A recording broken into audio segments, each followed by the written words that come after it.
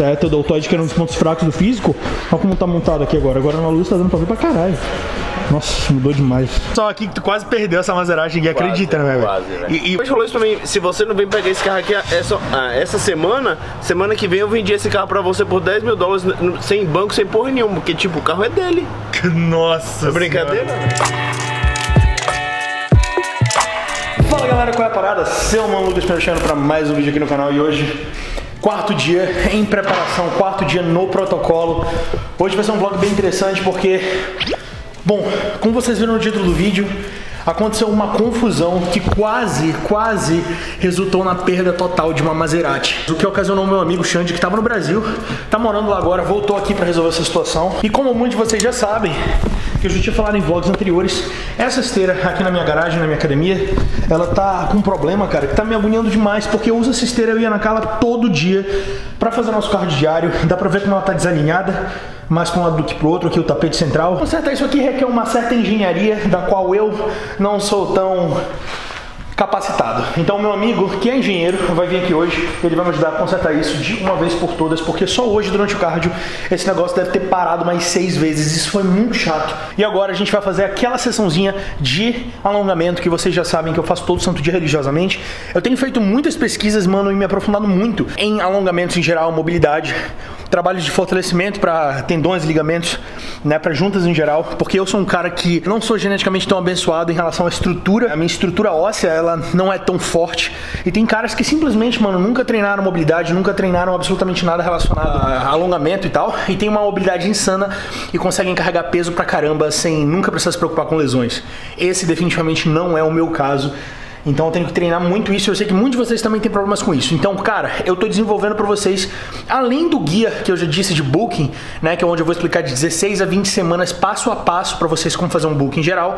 Eu também quero desenvolver um guia completo que provavelmente eu vou disponibilizar para vocês produto digital, como são todos os meus outros e-books, é exatamente para vocês que também têm dificuldades e problemas com isso. Eu sei que não há muita gente, eu sei que isso é algo que não iria atingir um público muito grande, mas eu sei que as pessoas que sofrem disso como eu sofrem de verdade, cara, e é muito frustrante você não conseguir se livrar disso. Tô testando comigo uma sequência nova que eu tenho que eu, que eu meio que desenvolvi, foca principalmente na mobilidade de quadril, é, posteriores, né, toda a, a cadeia inferior em geral, né? Especialmente quadril, cara, porque quadril e lombar é onde a maioria das pessoas sofre. Ontem eu fui fazer uns trampinhos lá na Dragon, que trouxe aqui algumas coisas novas, camisa nova que lançou e um novo, é, não tá nem, eu já tirei que a Ana Carla tava usando, mas o novo Black Viper voltou para estoque, está na promoção, comprou um, o outro sai 100% de graça. Então você que curte Black Viper, quer usar um termogênico fantástico, que é de longe o melhor do mercado, com extrato de efedrina, cafeína e vários outros compostos que são voltados à eliminação do seu apetite, né? Pelo menos a inibição em parte parcial do seu apetite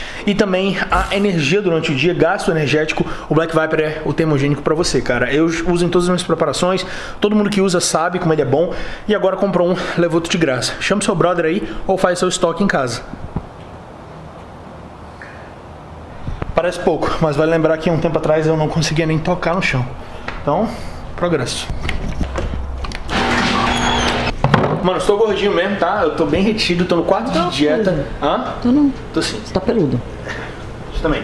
Então, tipo, paciência. O shape vai mudar.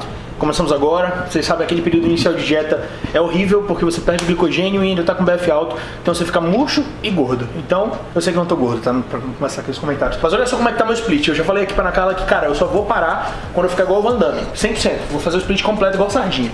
Ó.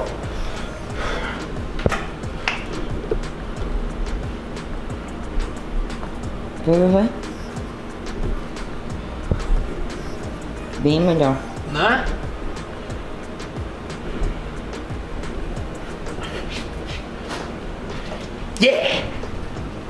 Tem um bolo pra ti esperando. Opa! Opa, que isso? Bolo de banana. Quais são os macros disso? Tem certinho? Tem. Hum, quero agora então. Eu falei, amor, quanto tem média de macros aqui? Ela falou, não, já contei. Eu não lembro de cabeça agora. Eu falei, não, uma, uma estimativa. É lá, uma média de 38 gramas de carbo. que média é essa? Tá bom. Meio 40 gramas de carbo, em média, aqui nesse bolo. Bastante É, proteína. Qual, qual que é a massa dele, amor? Só pra pessoal entender. Banana e 30 gramas de aveia. Só uma E- banana inteira e 30 gramas de aveia. Na massa também leva um scoop de whey, adoçante, fermento e um, duas claras de ovo. Olha isso, mano. Perfeito, mano. Muito bom, né? Levando em conta que a minha primeira refeição foi sem carbo, isso aqui é uma maravilha. E enche, enche bastante, né? Porra, demais. Ok, manos, então houve um pequeno erro matemático na hora de calcular, que a moça botou ali uma banana e meia, né, amor? Então só uma banana e meia já dá tipo 40 gramas de carbo, que era o que ela tinha dito que era o total. bananas. Aí ela botou lá, mas não tem problema, porque como eu falei, eu tava sem cabo. Meus macros estão em 134 de proteína, 109 carbo e 43 gordura. Ainda tenho comida pra caramba. Mostra aí, pessoal, meu novo Viper. Olha só, deixa eu fazer umas fotinhas aqui agora. Como vocês podem ver, o potinho dele tá, tá bem diferente, né? É, Agora é um pote mesmo, não é mais como era antes. E a fórmula, cara, tá tão potente quanto a fórmula animal do Viper, que vocês já sabem. E vem Né? 90 cápsulas pra 90 três cápsulas meses. é muita coisa. Você não vai precisar de duas ao dia, a não ser que você tenha tipo uma resistência. Não, ninguém precisa. É, cara, é, é surreal, velho. Duas por dia é muita coisa. Então não há necessidade. Tá animal o produto, manos. Comprou um, levou outro de graça. Corre lá, porque é só até hoje, meia-noite. Você que tá assistindo esse vídeo hoje, viu? Então vamos lá tirar as fotos? Bora. Como é que tá a criança aí? Imunda, parecendo que participou de um rally, Sobreviveu? mas pelo menos tá na mão, Está né? recuperada? Tá na mão de novo. Cara, Muito fala, fala, fala pessoal aqui que tu quase perdeu essa Maserati. Ninguém Quase, acredita, né, velho? quase, velho. E, e Não, e literalmente o cara do- da empresa de reboque, ele me falou isso, velho, na cara de pau.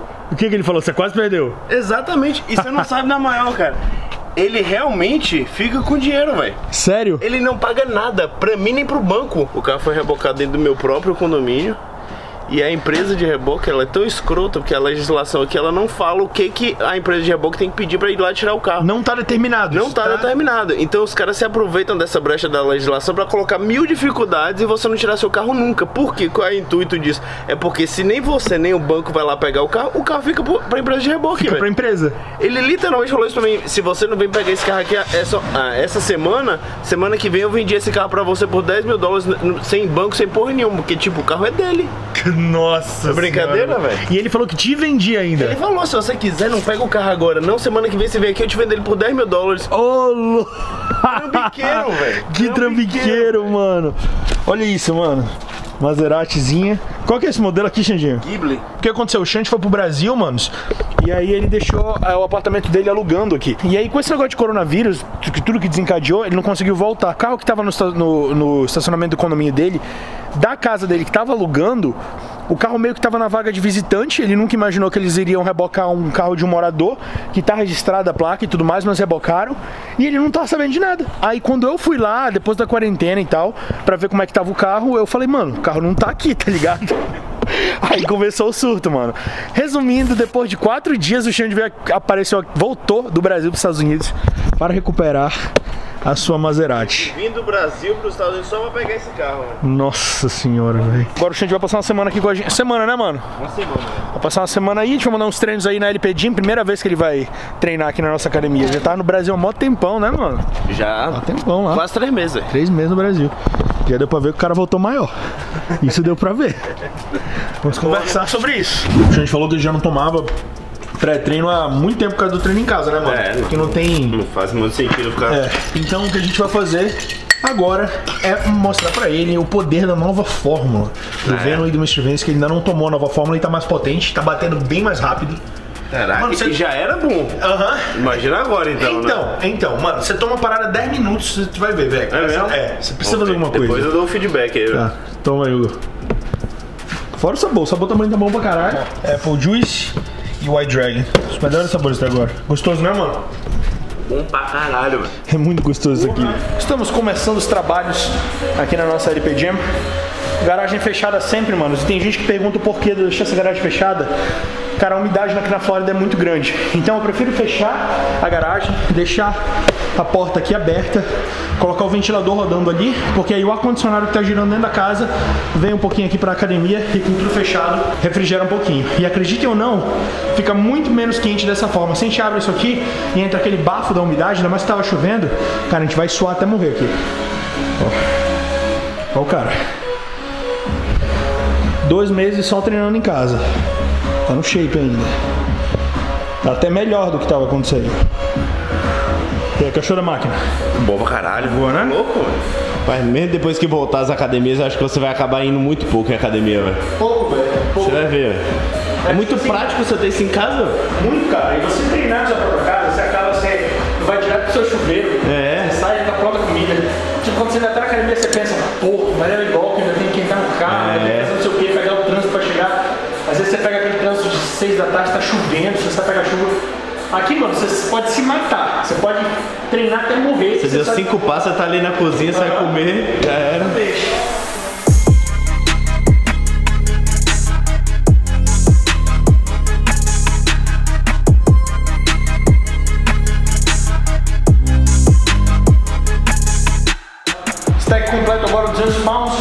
Botei aqui a regatinha porque tá aquecendo. Regatinha da Meet. Lembrando que tem coleção nova lá em Meet, mano. meetoficial.com.br, cupomzinho LP. Pra você ficar daquele jeito no estilo. Vai lá porque, como é coleção nova, quando acabar não vai restocar, mano. Então, tô avisando. Vamos nessa.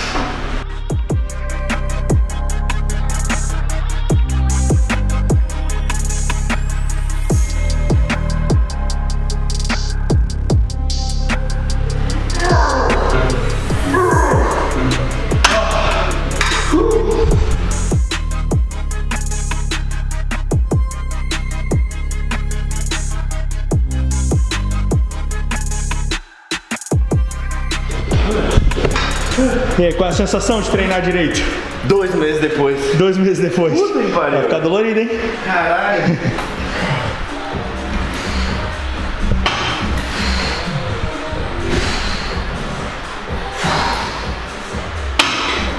duas plaquinhas aqui, 120 quilos no remada curvada, né? Vocês sabem que é o ponto que eu tenho que trabalhar bastante agora são as dorsais. Hoje é o quarto dia em preparação. A gente começa a sentir a dieta, né, mano? Se bem que o que são cinco, quatro dias de carboidrato um pouco mais controlado depois de tanta pizza, né?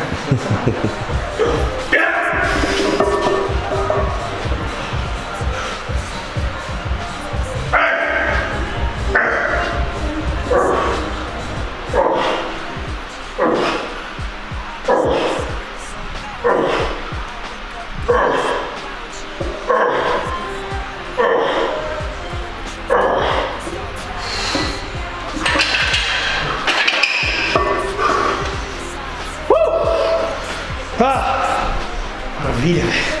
Pegar peso sem sentir dor na lombar é muito bom.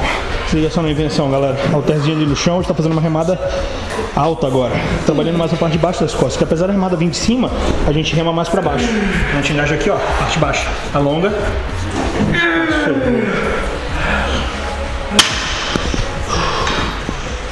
Pegou pra filmar no tamanho, mas fudeu. Ah, peguei no pump, pô, isso aí. Deltoide posterior também melhorou pra caramba, mano. É, teu deltoide que era um dos pontos fracos do físico. Olha como tá montado aqui agora. Agora na luz tá dando pra ver pra caralho. Nossa, mudou demais. Garante fazer um physical update aí depois? Mostrar o shape? Hoje não, deixa algumas semanas. Porra, dois, dois meses sem treinar. Tá bom, tá bom. Tá bom, no final da, da semana aí que vai mostrar. Vai recuperar aí a densidade, que nunca perdeu, né, pelo jeito.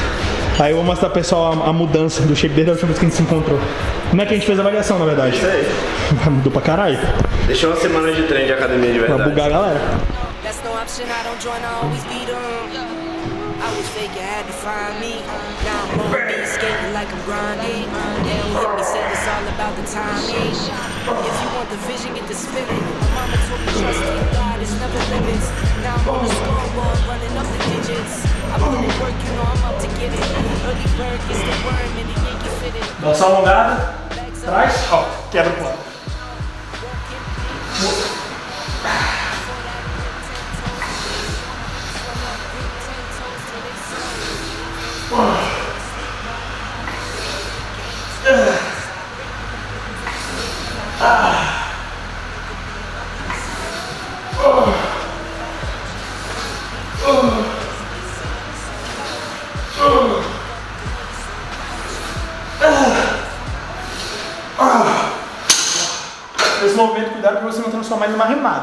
Lembra, você está fazendo um pêndulo aqui, né?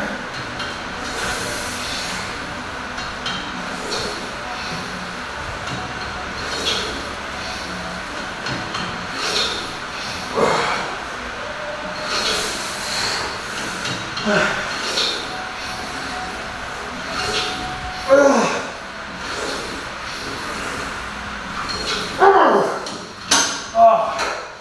Acho que o maior diferencial dessa variação é que você não tem aquela limitação de movimento do cabo normal, né? Que você trava aqui. Essa aqui você consegue ir direto e esmagar as costas. E na hora que eu estou trazendo peso, eu gosto de dar aquela quebrada pro lado para terminar, esmaga bem a dorsal. E é isso. Tentem aí. Você pode fazer o cabo na sua casa, tá? É bem fazível. De 1 a 10, como é que foi o treino hoje? 11. 11? Não está É. acostumado. Dois meses sem treinar na academia, velho. O que, que você acha, velho? Vai estar pronto para treinar peito amanhã? Porra. Se eu conseguir levantar os braços amanhã, eu tô, velho. Vai dar, vai dar. sim. Acho que a muscular tá boa aí. E aí, gatinho, você está sendo uma preguiça aí? Já acho que todas as minhas obrigações do dia. Fez o quê? Todas as minhas obrigações do dia. Ah, já? Agora é só preguiça. Tá certo. Quer comer alguma coisa, mano? Porra, já sei também. Deixa eu ver. né? Qualquer coisa, O que temos aqui? ainda tenho que ir no Walmart. Não tem nada, não. Hã? Tem Não nada. né? Já era. Temos aqui um pós-treino, carne, No University agora. um Não, pouquinho de blind date. Eu comi um pouquinho de arroz Tem agora, então mandei um cabinho pra dentro. todo lá. Mas como hoje o carro tá bem controlado, eu não mandei muito, só mandei 100 gramas. Agora já E agora tô comendo aqui é minha carne, ou seja, uma refeição alta em proteína e gorduras, e a gente alimenta o Xande, cara. O meu franguinho com arroz, é sacanagem. Temos aqui uma maravilhosa última refeição de brigadeiro de whey. Olha que criativo, cara. Brigadeiro de whey feito no micro-ondas com alguns rice cakes que eu vou consumir. Alexa, stop! Comenta aí se você também tem Alexa na sua casa, cara. Eu sei que tem gente no Brasil que tem Alexa, porque já comentaram isso nos vídeos, no Instagram e tudo mais. E é isso, mano. Vamos finalizar o vídeo por aqui. Se você curtiu esse vlog momento, não se esquece de deixar o seu like. Ajuda demais, fortalece muito o canal. Quando você lembra de deixar o seu gostei, se inscreve, comenta embaixo o que você achou do vídeo.